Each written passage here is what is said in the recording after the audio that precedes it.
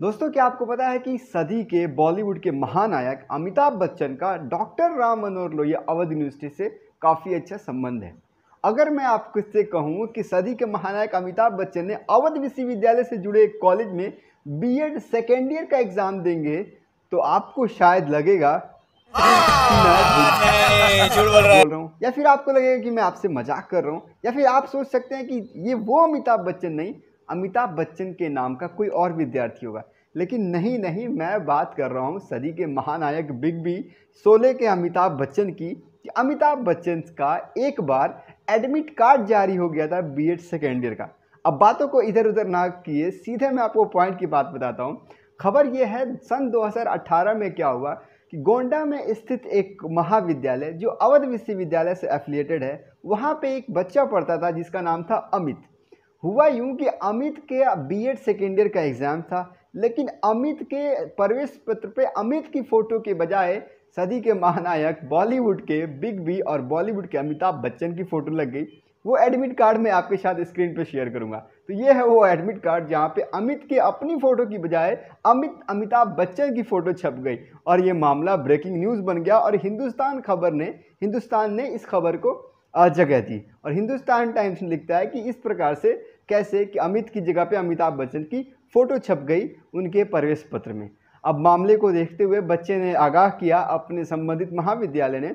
महाविद्यालय ने लिखित तौर पे सूचना दी बच्चे का जहाँ पे सेंटर था कि यह गलती से हो गया है, बच्चे को परीक्षा देने दिया जाए। और इस प्रकार से बच्चे ने अपने बीएड सेकेंडर का एग्ज़ाम दिया और उसकी एग्ज़ाम्स पूरी हुई। तो आइए एक बार फटाक से ये खबर पढ़ लेते हैं, हिंदुस्तान में छपी। सन 2018 की खबर थोड़ी सी पुरानी है, लेकिन आपके बीएड से रिलेटेड है, अमिताभ बच्चन से रिलेटेड और अवध विश्वविद्यालय से रिलेटेड है। तो आइए एक बार सविस्तार पढ़ते हैं इस खबर को। पर लिखा है कि डॉक्टर राम मनोहर लोहिया, अवध विश्वविद्यालय फैजाबाद ने अपने अजब गजब कारनामों से एक बार फिर चौंका दिया। विश्वविद्यालय ने एक ऐसा एडमिट कार्ड जारी कर दिया, जिसमें छात्र की तस्वीर की जगह प्रख्यात सिनेमा स्टार अमिताभ बच्चन की फ़ोटो लगी है। छात्र के परीक्षा न छूटे। इसके लिए संबंधित महाविद्यालय ने एक पत्र जारी कर परीक्षा केंद्र को भेजा, जिसके बाद वह बीएड द्वितीय वर्ष की वार्षिक परीक्षा में शामिल हो सका।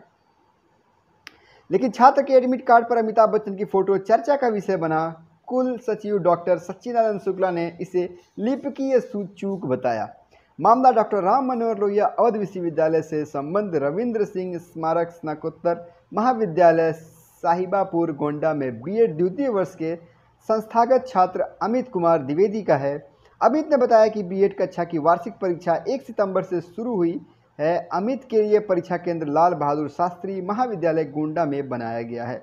लेकिन उसके प्रवेश पत्र पर उसकी फ़ोटो व सिग्नेचर की जगह अमिताभ बच्चन की फ़ोटो छपी है, जिसे लेकर वो हैरान रह गया। उसने बताया कि केंद्र प्रभारी ने यह समस्या देखते हुए परीक्षा की अनुमति दे दी और अवध विश्वविद्यालय को सूचना दी है। तो दोस्तों ये थी खबर हिंदुस्तान टाइम्स में छपी हुई।